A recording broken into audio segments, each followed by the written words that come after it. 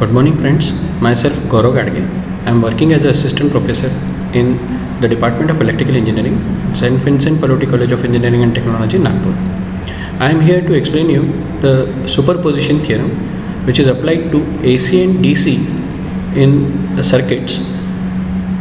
Let us start with the step-by-step procedure to understand this superposition theorem.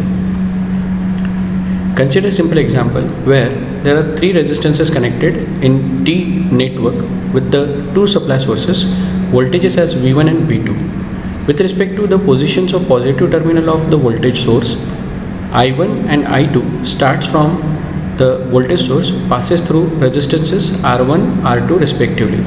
The direction of current I1 is left to right, the direction of current I2 is right to left and hence both the currents meeting at one point that point is say node A. Hence both the currents get added and the current I3 passes through resistance R3 hence we can say I3 is the current which is the summation of I1 and I2 here the directions are mentioned which is very very important to find the final value of the unknown parameter using superposition theorem. Now step 2 in step 2 one of the voltage source is deactivated using short circuit link.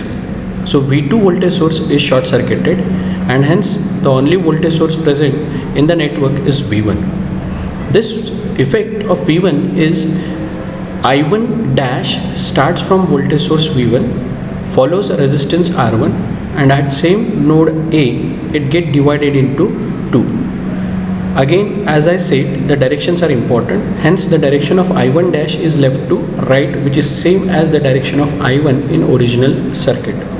But in this case, the direction of I2 dash is changed, which is not similar to the direction of I2. But the direction of I3 dash is again same, similar to the direction of I3, which is downward. I1 dash at node A get divided into 2 as I2 dash and I3 dash.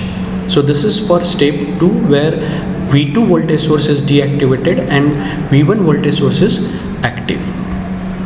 Now consider step 3.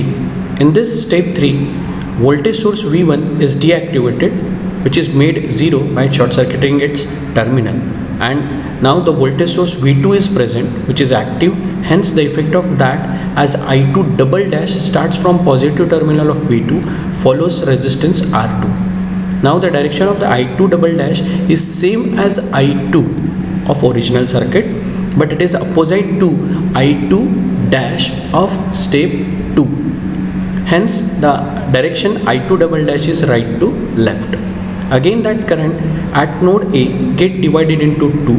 One current is I1 double dash from right to left and second current I3 double dash which is downward passes through R3 here the direction of I3 double dash is same as I3 dash as well as I3 but the direction of I1 double dash is now changed. It is opposite to the current I1 and I1 dash of previous two circuits. After getting this, let us apply superposition theorem to the network. Hence we get the three equations of three branch currents. I1, I2, I3 from original branch circuit as I1 equal to I1 dash plus I1 double dash but the direction of I1 double dash is opposite to both the currents hence we can write it with the minus sign I2 is equal to I2 dash plus I2 double dash. Here the direction of I2 dash is opposite to the direction of uh, remaining two currents. Hence we can write there as minus. And I3 were equal to I3 dash plus I3 double dash. Here for this, this branch current the directions of all the three currents are same. Hence no need to change any of the sign for the current. So this is what the simple example which we understood to understand the superposition principle.